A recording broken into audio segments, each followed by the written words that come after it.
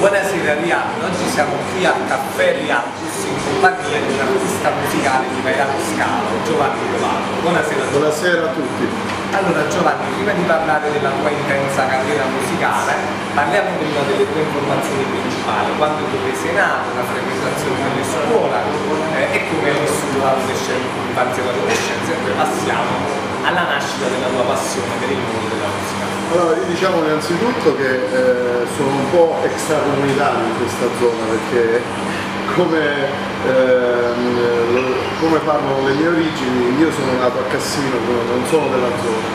Eh, arrivo a, nei, nei, pressi di Riardo eh, intorno al 2012 eh, per volere della, della mia ragazza, adesso attuale moglie, di Riardo e decidemmo di stabilirci a Vairano, ecco perché poi eh, tutto quello che ne consegue dopo eh, avviene nell'alto casertato. Eh, come ho detto sono nato a Cassina, 41 eh, anni fa. Sei giovane? Giovane, diciamo ancora giovane, fino a, fino a 50 anni si dice che c'è ancora la possibilità di dire di essere giovane. Eh, le, mie le mie prime esperienze musicali sono state pessime perché me, nelle medie andavo malissimo a musica, eh, tant'è vero che io cercavo di ricopiare all'orecchio quello che facevano gli altri miei compagni, ma io non leggevo le note, non sapevo proprio che cos'erano le note musicali. Eh, tipo altre materie come inglese? L'inglese mi piaceva di più, la matematica la odiavo, eh, l'italiano mi piaceva, eh, diciamo che era un po' un disastro, un po' comunque tranne che l'inglese e l'italiano. Per il resto la storia, pure un po' la geografia, le scienze mi interessavano. Eh, ecco, avevo un percorso scolastico un po' così tra, travagliato come un po' tutti quanti, adesso non siamo tutti geni. Eh, che altro mi avevi chiesto?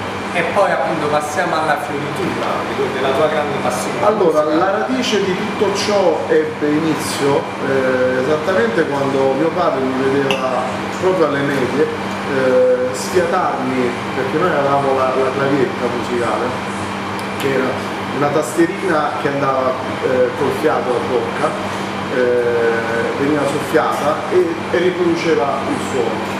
Io a casa, al di fuori mia, delle mie eh, diciamo, lezioni, dei compiti che dovevo fare per portare il giorno, il giorno dopo, mi dilettavo a suonarci e vedeva che riproducevo a orecchio tutti i brani, che ne so, anni 60, che ne so, c'era in una stanza, eh, che altro... Io la caputo. Anche, non mi, adesso non mi ricordo tutti i brani, però mi ricordo che eh, lui mi vedeva senza che leggessi nessuna nota musicale, mi mettevo lì e suonavo, suonavo eh, questa clavietta.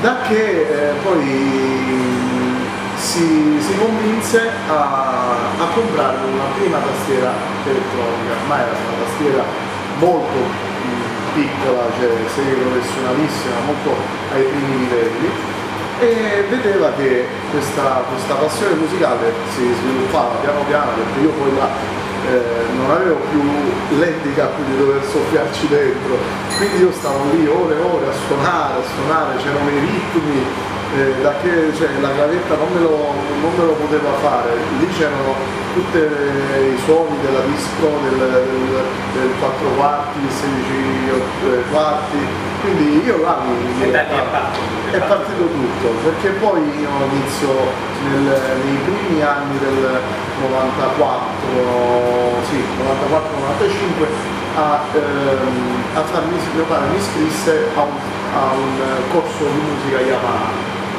lì il primo saggio, le prime esperienze con le note là veramente a, davanti a uno spartito e leggere le prime note musicali, però sempre a, a livello molto più infantile, ricordiamo che avevo sempre 13-14 anni. E, e quindi queste le prime cose, il mio primo saggio davanti a tantissima gente, molto molto emozionato. E mi ricordo che, fa, che eh, mi fecero fare You Are My Sunshine dei eh, gruppo non mi ricordo comunque era un gruppo che in voga negli anni 90 e, e questa canzone me la imparai tutti i giorni, tutti i giorni per cercare di fare quanto più precisa possibile. E da lì io posso continuare all'infinito, poi non voglio che la tua intervista dura 60 minuti. Eh. Da lì poi eh, il, secondo saggio, sempre quella scuola di musica, eh, inter- ho interrotto quel- quella, quella scuola e più, a- più avanti con gli anni eh, ho avuto la, la possibilità di iscrivermi in un'accademia privata, quindi solfeggio, pianoforte, canto moderno eh, e tutto il resto. Tu hai fondato un gruppo musicale, parte del tuo gruppo musicale. Il mio primo gruppo musicale unico, se così possiamo denominarlo, perché unico, eh, eh, unico nel senso che era mio, mio dove eh, riuscivamo oltre alle cover a realizzare delle canzoni inedite. Quindi eh, il nostro primo lavoro nel, nel 2000, eh, questo gruppo era partito con il tempo di andare a suonare nei locali, da che poi siamo diventati molto più affiatati, molto più bravi, c'era una, una confluenza pure nel ritmo, nel sound, decidemmo di, di mettere su carta delle, delle esperienze mie, de- dei testi e delle, delle musiche realizzate da me. Eh, e lì ci fu anche l'aiuto del, del mio chitarrista, eh, che poi adesso è sciolto nel 2001-2002 e è caduto tutto inesorabilmente, sono rimaste le ceneri di questo gruppo musicale che è poi il prodotto di questo CD eh, che realizzammo proprio in quegli anni, dove c'erano tre canzoni, eh, poi ci sono postume dei brani che non sono stati più pubblicati, però li conservo ancora nel cassetto, quel famoso cassetto che può riaprirsi anche più in là nel corso del tempo. E ne rimane un ottimo ricordo delle esperienze intramontabili che mi porto ancora dentro per i due spettacoli di adesso.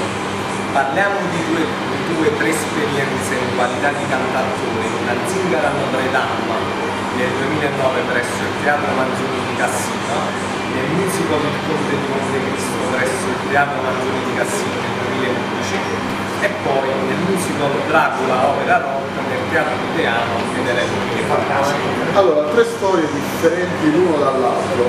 Eh, nel 2005 io eh, noto che trovavo la mia eh, vera identità anche in un'altra disciplina che è il musical. Il musical è una, è, è completo perché riguarda non solo il canto, che tutti sentiamo il cantante quando cantano qualcosa, però nel musical viene, eh, si esprime anche a livello teatrale, e quindi c'è il teatro in mezzo, e anche la- il ballo. Quindi eh, mi, mi- tutto insieme mi incuriosiva e decisi di prendere lezioni da un eh, direttore di coro di Roma che faceva degli stage proprio inerenti al- alla disciplina di musical. Da lì eh, ho, ho veramente mi sono buttato a, capofitto in questa disciplina perché era veramente interessante, eh, con un po' di sacrificio e di, diciamo, di molta passione perché nella musica ci vuole passione, nel, nel canto e in tutte le arti diciamo, ci vuole molta passione, ho deciso di eh, farla crescere. Questa crescita ha, eh, alla fine mi ha dato la, la voglia di, di volerla esprimere attraverso qualche, qualche opera. E questa compagnia che, che avevo a Cassino mi propose una parte all'interno di questa, di questa storia che è la zingara Notre Dame non è altro che ehm, Notre Dame de Paris eh, quella di Riccardo Cocciante di David Zacchi Io ho visto tante volte anche il cartone animato, no? Esatto, Bellissimo. venne riproposto il musical esordi- all'inizio degli anni 90 con il cast originale e noi come compagnia teatrale dilettanti decidemmo di metterla in atto eh, presso il Teatro Manzoni nel 2009 se non sbaglio, giusto? Perché io le date non me anche ricordo. nel 2011. Nel 2011 un'altra cosa, nel 2011 sempre la stessa compagnia, eh, però aspetta finisco questa cosa, nel 2009 eh, ci c'è fu molto sacrificio per realizzarla perché era molto difficile da, da mettere in, scena perché noi ci curammo eh, le scenografie, eh, avevamo l'onere e la responsabilità di vedere le parti come dovevano essere realizzate eh, e quindi eh, abbiamo fatto veramente un lavoraccio incredibile perché eravamo solo noi, 8-7 cantanti e uno che ci, diciamo, ci gestiva la parte musicale. Eh, dopo di questo però c'è stato il ripagamento finalmente perché eh, in questo teatro abbiamo fatto un sold out, 750 persone che ci sono venute a trovare, sono rimaste contente, hanno pagato un biglietto, molte volevano entrare, volevano pagare il biglietto e non sono riuscite a entrare perché non c'erano i posti. E per noi vedere tutta quella gente e io che dovevo aprire il, perché facevo la parte di Green in questo musical, eh, aprire il primo atto con tutta quella gente davanti. Parliamo della tua partecipazione in qualità di cantattore due anni dopo, sempre presso il Teatro Maggiore di Cassino, nel musical Il Conte io in quegli anni fortunatamente assieme a quella che era la compagnia del Dame dove abbiamo fatto nel 2009 ci siamo avvalsi anche di un'equipe eh, che ci ha saputo giostrare al meglio e qui parliamo già di livelli semi-professionali perché avevamo un vocal coach, un maestro Davide, perché con Monte Cristo c'erano duelli con la spada, c'erano delle veramente dei colpi di scena dove dovevamo utilizzare molto dinamico, molto dinamico, dovevamo utilizzare delle, delle diciamo delle, nel 2011 eh, finalmente abbiamo avuto la possibilità di averci veramente formata da eh, vocal coach, maestri d'anni, tali da rendere lo spettacolo del Conte di Montecristo eh, a livelli professionali. E lì abbiamo fatto due, due eventi, due spettacoli, due serate che hanno avuto veramente un consenso unanime perché lì c'è stato il sold out all'interno del Teatro Manzoni, sempre aggressivo, e, e la stessa compagnia con altri artisti eh, aggiunti perché diciamo eh, in, quella, in quel in quello spettacolo c'era il fatto che c'erano molti più attori e lì abbiamo avuto anche degli attori professionisti che curavano il protagonista della, della, della, della storia stessa. Nel 2014 invece nel teatro indiano. eh, ci siamo arrivati, allora io parto un po' prima perché eh, in quegli anni io ero già qui nell'Alto Casertano e ho avuto la fortuna di conoscere la compagnia RH eh, del, del, della, dell'associazione RH eh, di Pietra Vairano, che loro sono ragazzi anche di Vairano e, e praticamente mi hanno contattato perché sapevano che io facevo queste cose eh, avevo avuto già esperienza nel musical, mi proposero di eh, realizzare il musical il, eh, ro, eh, Dracula Opera Rock.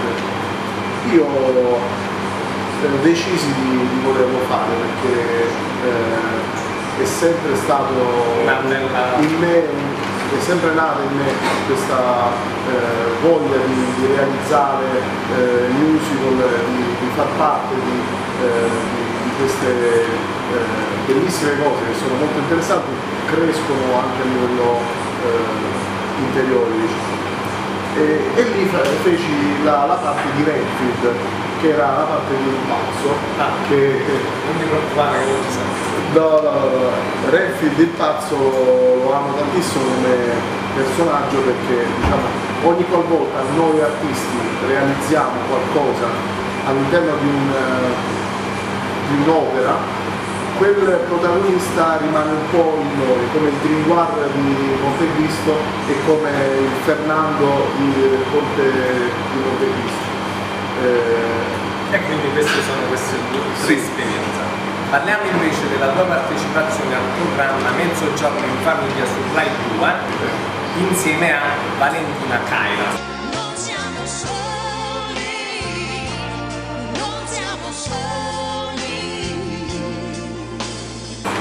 Parliamo di questa partecipazione. Allora lì saltiamo nel 2009, un po' prima di questo eh, del Conte di no, del, del, Notre Dame de Paris, che è una sigla Notre Dame, partiamo lì perché un bel giorno mi, mi, mi suona il telefono ed era Valentina, Valentina Caira la saluto se ci deve all'intervista, e mi dice Giovanni ti, va, andrebbe di partecipare in Rai a un duetto? Io salto, da, salto dal divano, dico ma che su, perché io? Proprio io? No, perché mi farebbe piacere che duettassi con me. eh, Grazie perché. grazie perché, un brano di Morandi. E ho detto ma certo, partiamo, andiamo a farlo subito. Eh, lì fui contentissimo perché è stata la mia unica esperienza in Rai eh, e lo ricordo ancora con molto molto eh, affetto questa, questa partecipazione che ho avuto a Mezzogiorno in famiglia perché ho avuto modo, la fortuna di, di vedere gli studi RAI, eh, i cameraman, eh, Amadeus, eh, i personaggi che mi ricordavo, ricordavo l'orchestra stessa che, che, che, che forma tantissimo queste formano tantissimo perché a livello di esperienza le ricordo ancora con molto molto affetto. Parliamo di una delle tue canzoni, Deserti. Non stare qui con me e corri finché non torna il sole. Allora, Deserti invece, ritorniamo ancora più indietro nel 2009 e siamo nel albore del 2000-2001. Questa canzone è nata di getto all'interno di una sala prove, mentre eravamo lì con il gruppo a suonare e abbiamo pensato che dovevamo realizzare qualcosa per, eh, per il nostro gruppo. Io avevo ancora il gruppo musicale, era un gruppo rock, rock italiano e quindi Deserti è nata proprio sulle eh, radici di questo, eh, di questo gruppo. Eh, entro, entro in sala prova ragazzi, abbiamo un ecco gli accordi, partiamo. Ed è uscita proprio di getto, come, come se non fosse, come se fosse stata scritta chissà da quanto tempo questa canzone. Eh, subito esce fuori il 99% del brano. Deserti poi era il titolo di- del CD che comprendeva altri due brani, riconoscere e racconti personali. Tutti e tre, eh, tutti e tre eh, brani molto autobiografici e comunque sulla radice rock, del rock italiano.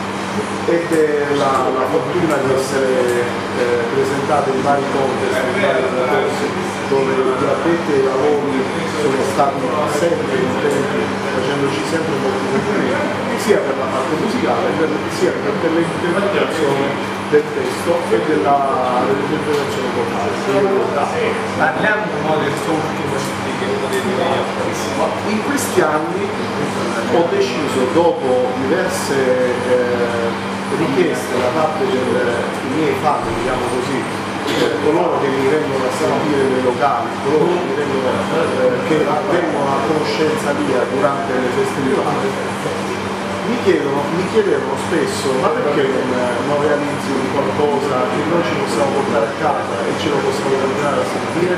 Perché io mi sono un po' documentato per come farlo ho detto va bene perché no facciamo questa- questo CD però non sapevo eh, cosa metterci in questo CD perché comunque i, miei tempi erano erano là nel 2000 e dal 2000 ad ad adesso io non ho realizzato più niente un po' perché scrivere ci vuole del tempo, ci vuole veramente una, una parte di te che deve essere concentrata, che vuole, è come sedersi davanti a una tela di pittore, il pittore se non ha una fatale, se non ha il suo spazio e il suo momento di riflessione non esce fuori nessun quadro, rimane il pennello e la. Così per un artista che, che scrive ha bisogno del, del suo spazio, del suo momento di e di relax.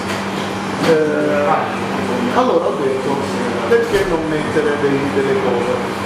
Mi sono preparato per come farlo a livello legale e ho realizzato, sto realizzando ancora in fase di produzione, forse quando sarà pronta anche l'intervista saremo anche già a tre quarti del lavoro, ehm, ho pescato da ogni artista bravo, dalla serie A, lavoratori del Canada di Albano, di Paglioni, eh, eh, Negramaro, Ultimo, eh, Fama nazionale. fama nazionale, da uno da uno di loro ho realizzato, ho preso un brano che era con la mia interpretazione. Quindi spero che chi sarà interessato potrà eh, contattarmi per eh, poterne avere anche una copia e che ne so, realizzare magari questo sarà l'inizio di eh, un proseguio che sarà un volume 2, un volume 3, un'altra compilation. Vedremo un po' come saranno gli sviluppi, io mi auguro di, di venderne tantissimi e questo è il Considerando la tua intera carriera, quali sono le tue sensazioni e se c'è qualche momento bello che ti va particolare? Allora, periodi belli sicuramente in questi anni perché sto avendo un consenso grandissimo, Eh, questo è anche grazie a voi che mi state eh, seguendo, che mi chiedete dove sono i locali.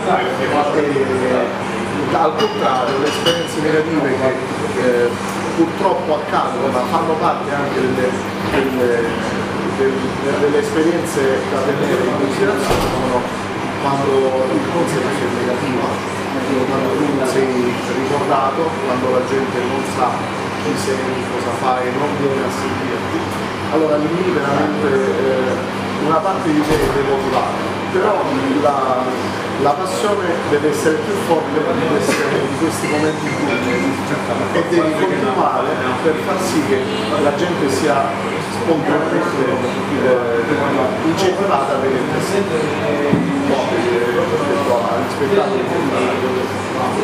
Allora io ringrazio Giovanni Colato della sua disponibilità, grazie e Grazie a te. Ciao. abbracciami con